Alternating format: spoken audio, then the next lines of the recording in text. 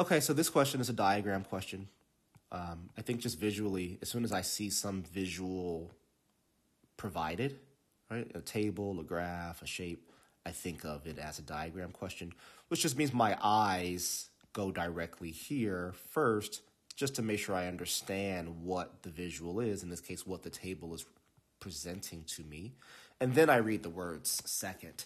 So I can see here that the table is very simple. It's only two columns, looks like five rows.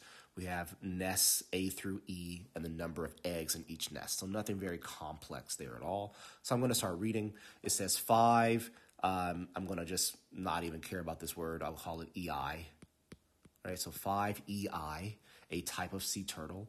Each have a nest. Okay, so five sea turtles have a nest. The table shows an original data set of the number of eggs that each turtle laid in, the, in its nest. Yeah, we already saw that, right? So we see those numbers, we see the nests labeled as A through E. The question goes on to say a sixth nest with 121 eggs is added to create a new data set. Okay, so that means we would have nest F and we'd have 121 over here for our new data set, right? So now we'd have A through F instead of just A through E.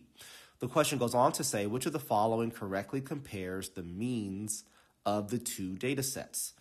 Okay, so if we just use a little bit of logic, we could say, well, the mean here is most likely in the low 140 range, right? So kind of halfway between 136 and 149. And by adding a value that's much lower than that, we expect our means to go down. Um, and that could influ- influence our answer. Right? That's what I would probably think if I was short for time and just move on. Um, but there's a way to prove this, right? So I can just find the mean. I can find the mean of A through E really quickly. Actually, doesn't take all that much time. Go to my calculator. I add up those values for A through E the number of eggs for A through E. So 149 plus 144 plus 148 plus 136 plus 139 equals 716. So that's the first step of finding the mean. Add up all the data points. And then we divide by the number of data points we have, right? So 716 divided by 5 gives me 143.2. And then we find the mean for A through F.